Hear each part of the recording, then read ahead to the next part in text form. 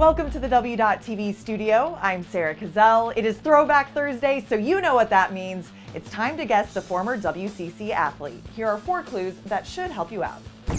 The former guard was a four-year starter at Pacific from 1988 to 1992 and a three-time All-Conference honoree. He wrapped up his college career as the second leading scorer in program history, averaging over 15 points per game. He also remains second on Pacific's all-time list for three-pointers made. The California native went undrafted but found stints with the Golden State Warriors, San Antonio Spurs, and the Orlando Magic. He also played overseas throughout his pro career. And he played a role in the hiring of new Pacific men's basketball coach, Damon Stoudemire.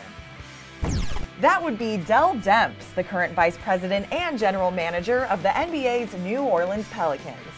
Thank you so much for watching. We will see you next week for another edition of Throwback Thursday.